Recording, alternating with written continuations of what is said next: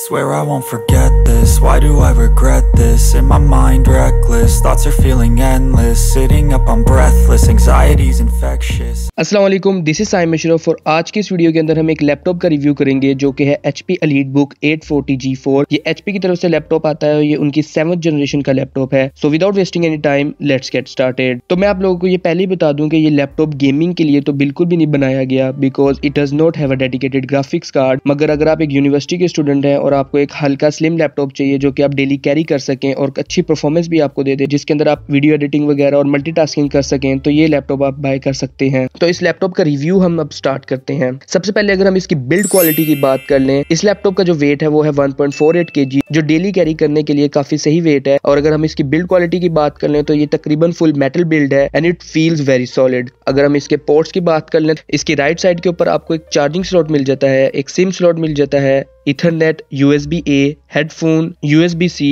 और left side पे बात करें तो फ़ैन मिल जाएगा VGA port USB A and I slot काफ़ी गुड अमाउंट के पोर्ट्स आपको इसके अंदर अवेलेबल है and USB C makes a massive difference अगर अब हम इसके कीबोर्ड की बात करें तो इसका कीबोर्ड एक बैकलिट कीबोर्ड के साथ आता है। इसका तकरीबन जो सारा डेक है वो मेटल का बना हुआ है और ये कीबोर्ड स्पिल रेजिस्टेंस के साथ भी आता है। यानी कि अगर आपका ग्लास साथ पड़ा है और वो अगर कीबोर्ड के ऊपर गिर जाए तो आपकी कुछ प्रोटेक्शन हो सकती है। अगर कीबोर्ड की बात करें तो ये काफ़ी हाई क्वालिटी के साथ है। I am very happy with the keyboard अगर अब हम इसके माउस पैड की बात करें तो ये ग्लास टच पैड है और इसकी प्रिसीशन काफ़ी अच्छी है। मुझे जरा भी मसला नहीं आया, मगर इस वक्त जो मेरे लैपटॉप का टच पैड है it is out of drivers but it still does good job मुझे इस टच पैड से सिर्फ़ एक शिकायत है कि ये साइज़ में थोड़ा छोटा है। अगर थोड़ा सा बड़ा हो जाता तो ज़्यादा अच्छा हो जाता। अगर अब हम इसके फिंगरप्रिंट की बात करें तो यस इसमें फिंगरप्रिंट अवेलेबल है and which is very precise but it's a little slow आपको थोड़ा सा डिले देगा but it's good to have a fingerprint sensor अब अगर हम इसके एक मेन कंपोनेंट की बात करें, जो कि है इसकी स्क्रीन तो ये एक 60 हर्ट्ज पैनल है 1080p रेजोल्यूशन के साथ। काफ़ी अच्छी स्क्रीन है, अगर आप इसको फ्रंट से देखें, मगर अगर आप इसको साइड से देखेंगे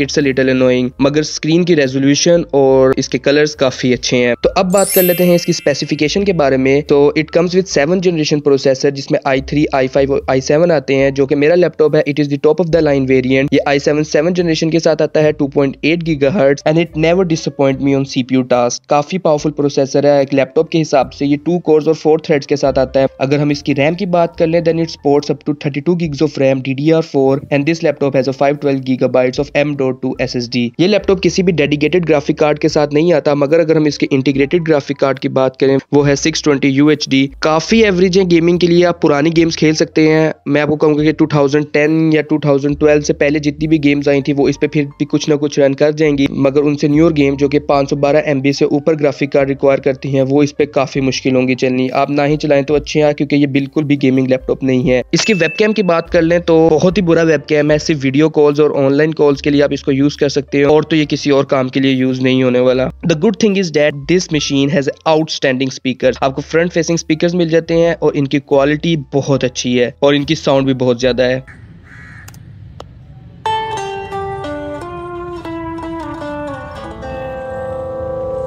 अगर हम इसकी बैटरी की बात कर लें तो it has a three cell fifty one watt hour battery which is pretty good और आपको तकरीबन नॉर्मल टास्क के ऊपर ये five to six hours on screen time दे देगी। And the good thing is that it's also sport sixty five watt A C adapter मगर मेरे पास forty five vote का है, और वो भी काफ़ी अच्छी फास्ट चार्जिंग देता है, मगर सिक्सटी फाइव वोट अगर आप यूज़ करेंगे तो आपको मजीद फास्ट चार्जिंग मिल जाएगी। अगर आप इसकी गेमिंग बेंच से बात करें तो मैंने आपको पहले ही बता दिया है कि games before two thousand ten will be fine but वो गेम्स जो आपकी वी रैम मांगे फाइव ट्वेल्व एम बी से ज़्यादा will be a disaster it but for normal functioning it's great so let's talk about the price इसके तकरीबन अलग अलग वेरिएंट्स हैं और हर वेरिएंट की अलग प्राइस है, मगर eight GB of RAM and two fifty six of S S D I seven seven generation वाला जो है, वो आपको सेवेंटी थाउज़ेंड के अंदर मिल जाएगा. And for full specs like mine sixteen gigs of RAM and five twelve gigs of S S D M dot two it will cost you around ninety K अगर प्राइस टू परफॉर्मेंस रेशियो की बात करें तो price इस laptop की decent है आप हर तरह का नॉर्मल वर्क इसके ऊपर बहुत ही आसानी से कर सकते हैं। But if you are looking for gaming then you should build a gaming PC और find a laptop which have a graphic card तो बस यार, आज की वीडियो में यही था। अगर वीडियो पसंद आई हो तो वीडियो को लाइक कर दीजिएगा। पहले से नहीं किया तो सब्सक्राइब कर दे। दिस टाइम साइनिंग ऑफ़ अल्लाह हाफिज़।